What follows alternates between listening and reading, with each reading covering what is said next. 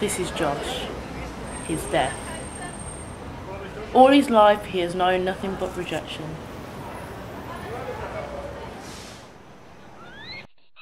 For God's sake, Josh, just just shut up. You're always crying all the damn time. Oh, just give me a minute to myself. It's such a burden to me. I don't know how able to cope with a child like you.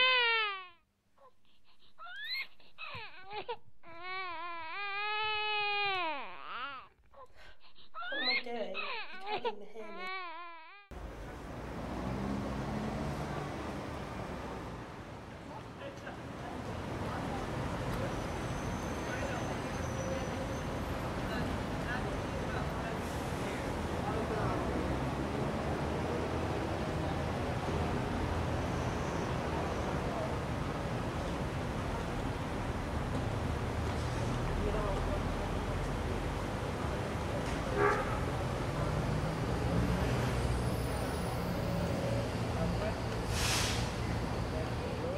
You'd say, just so you know, we can have a chat. Um, as you know, I'm going to university this year, uh, which means that you know, obviously, I'm going to be quite far away from home, and I'm not saying that we can't still be friends or nothing, but I'm just saying that yeah, I've got sort of.